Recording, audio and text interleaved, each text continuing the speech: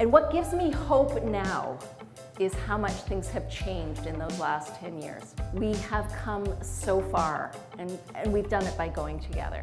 10 years ago, when I said that I built rammed earth, so I would get, what, you do, what? I couldn't even hear what I was saying. It was so alien.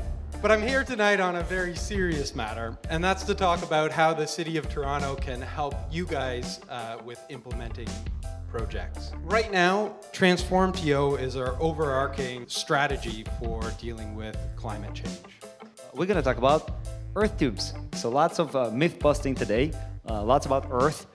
So we call it Tales from the Underground, and we're going to reveal some data on earth tube performance.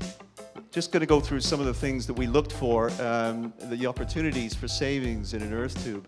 You get latent energy savings, um, because what, what happens in an earth tube is that uh, it's, it's air hitting a cold environment and so you will get uh, condensation that takes out latent energy in that, in that air.